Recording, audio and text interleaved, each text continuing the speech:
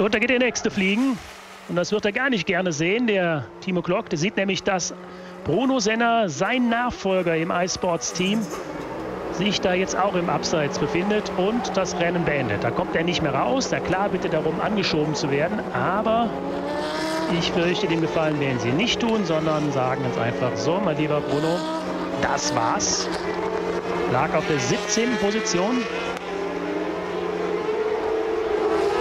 So, da sehen wir auch nur den Grund. Ganz einfach verbremst. Dieser nassen Fahrbahn. Schlagartig kommt das Heck rum. Am Ende der Stachenzigeraden und hier gibt es kein Halten mehr. Und also dann erstmal Kiesbett steht. Geht natürlich nichts mehr voran. Nochmal aus seiner Perspektive. Tja, also die Favoriten erwischt hier nacheinander.